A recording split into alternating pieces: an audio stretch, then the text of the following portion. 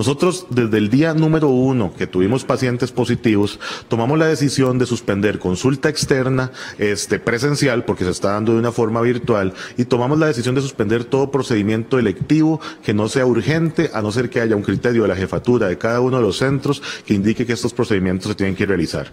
Además, se tomó la decisión de ampliar la capacidad instalada y de, y de crear el SEACO, o el Centro Anticovid, como prefiero decirle yo. Es muy importante que estas medidas lo que tienen es, eh, el, objetivo es, primero, ahorrar insumos. No sabemos si vamos a tener más insumos.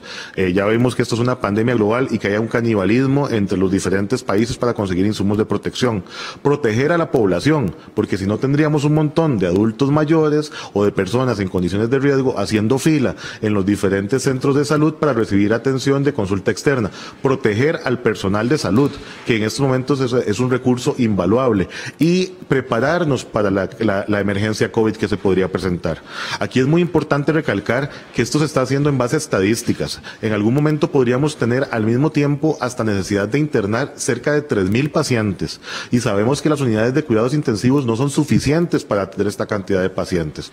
Por eso es que tenemos que tener mucho cuidado, por eso es que tenemos que planificar. Estamos ante un momento de crisis, ante un momento en el que es mejor ser precavidos y aprender de las experiencias de otros países como Italia, España, China y no cometer este, eh, esas lecciones aprendidas que sufrieron esos centros.